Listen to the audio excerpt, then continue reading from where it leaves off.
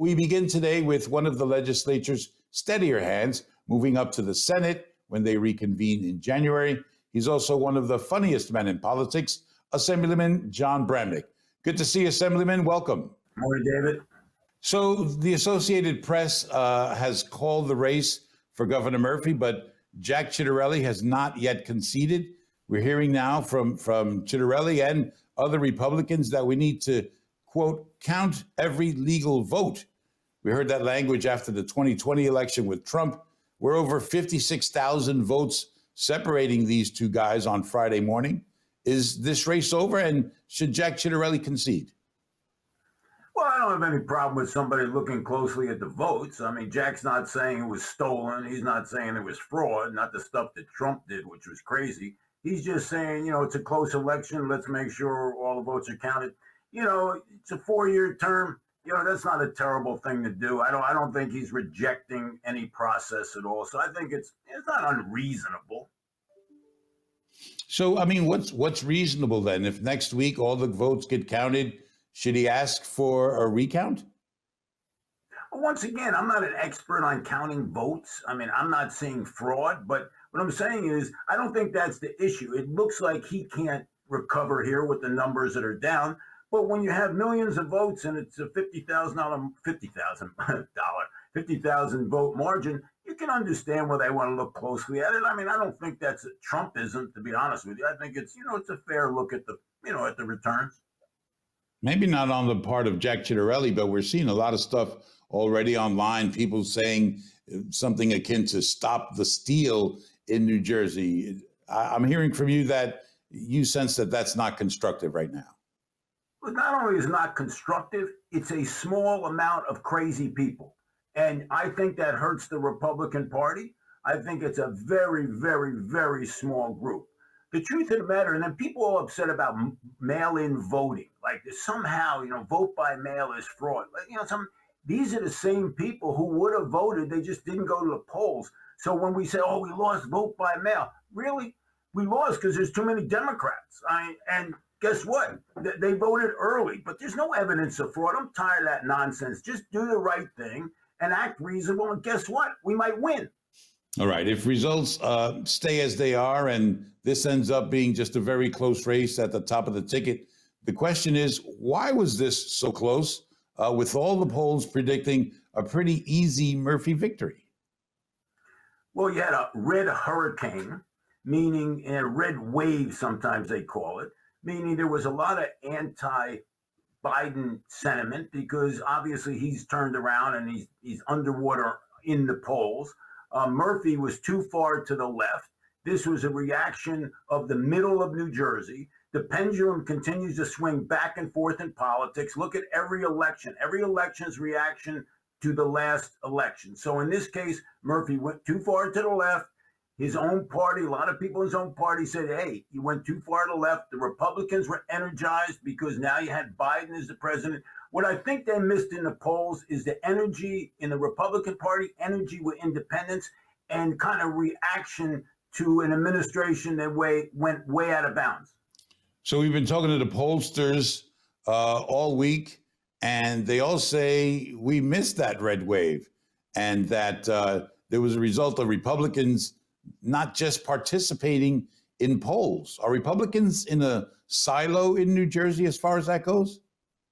Well, I don't really understand how the polls work exactly, but it is hard to measure energy and enthusiasm. And I think that's normally where pollsters make a mistake because they reach 300 people or 600 people. And sometimes it's hard to test that kind of passion. And I think that's what they miss. Testing passion should be the most important question, I think, in a poll. And also, which way the wind is blowing. I don't know how you test which way the wind is blowing and how hard the wind is blowing against you, but those are the things I think pollsters are going to have to look at in the future. Hmm. All right, let me get a couple of uh, panel questions in here. Charlie, you had a question? Yeah, uh, Jon. Uh, I mean, what can the Republican Party um, learn from Ciattarelli's uh, near win, if you will, um, as it moves forward and tries to rebuild itself under the shadow of Trump, because Trump isn't going to go anywhere. he's still going to be an albatross on the party's neck. So how, how, how, do you? What's the formula, and what what lessons can you can learn from Tuesday that um, help make the uh, GOP in Jersey more relevant? Well, I think Trump is going away, and it's evident by what happened down in Virginia. And you could see that everyone was distancing themselves from Trump. Trump wasn't in Jersey. He really wasn't embraced in Virginia. Uh, he's going to be in the rear view mirror. I've always said to the people, listen, you know, most of the time people are voting against something. So they were voting against Trump. Now they're kind of voting against Democrats that go too far to the left. I think that will be the issue. Trump will be farther and farther in the rearview mirror. I don't even think he could win a primary. I think the Republican Party understands that he's not helpful, and it's just taking a little longer because people fear Trump because he he is always uh, he's always scaring people. He don't scare me. Colleen, you want to jump in here with a question? Yeah, Jon, I just wanted to ask you from your perspective now where you're going forward. You know, you're going to be going from being the boss in your caucus in the assembly to just kind of another senator. Um, how do you think you're going to, you know, how are you going to feel about that? And uh, what do you expect your role to be?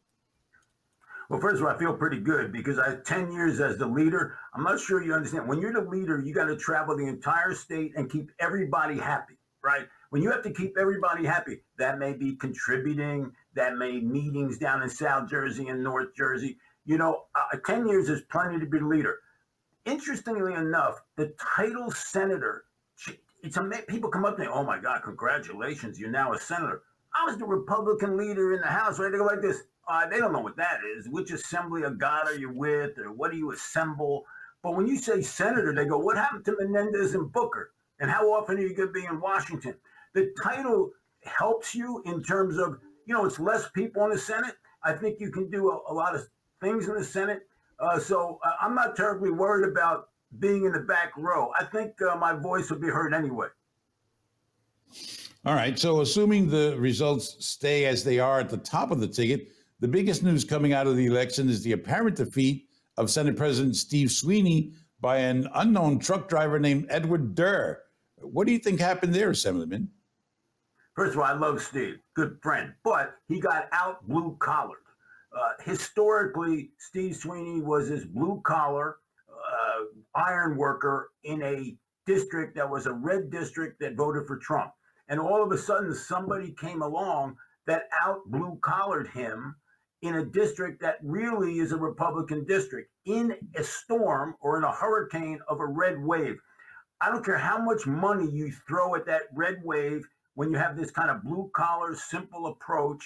Uh, it worked, and it worked because there was very little Steve could do to stop that. And now you have Edward Durr, who a lot of people are waking up this week and finding that he's the guy who's to the right of Mike Doherty. Are you concerned that some of what uh, Ed Durr has said in the past is going to come back to haunt him and further taint the party?